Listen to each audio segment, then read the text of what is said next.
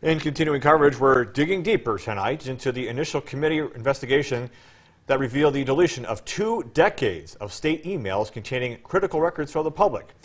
You may recall that last night we showed you the heated conversation between Senator Tracy Potter and Attorney General Drew Wrigley over the deleted state email accounts of former Attorney General Wayne Stenehjem and former Deputy AG Troy Seibel. Tonight, Josh Minnie is breaking down the issues for you and working to get some answers.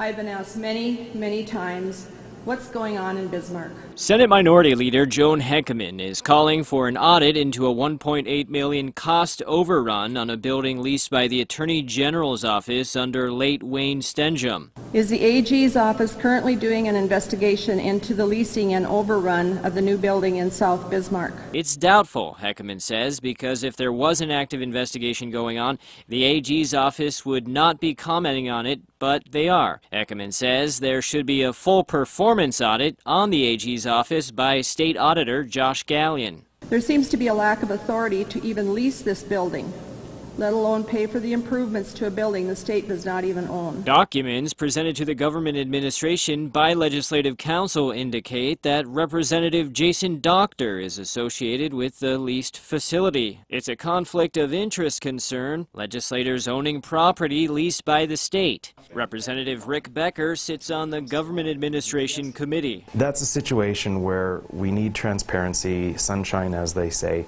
and the voters of North Dakota need to know that there is not a conflict of interest, there's not a perverse incentive to vote for expanding budgets if it actually is going to line the pockets of the legislators voting on those budgets. The AG's office had a significant overrun on the lease space, raising questions of the propriety of the enhancements to the building. The benefits of the overrun will only enhance the value of that building for the owners, which is not the state.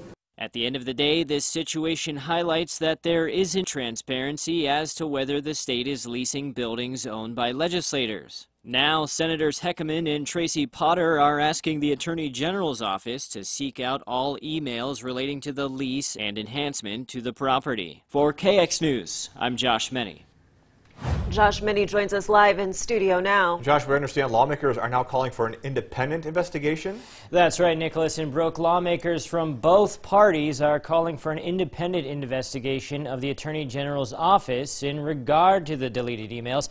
Senate Majority Leader Rich Wardner told KX in a statement even if there has been no illegal activity, people will believe there has been some type of cover up of illegal business if only an internal investigation is done.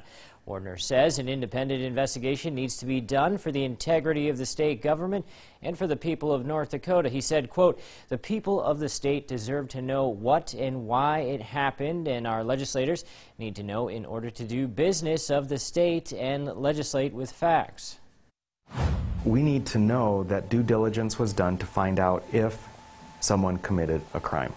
It certainly sounds like it on its face.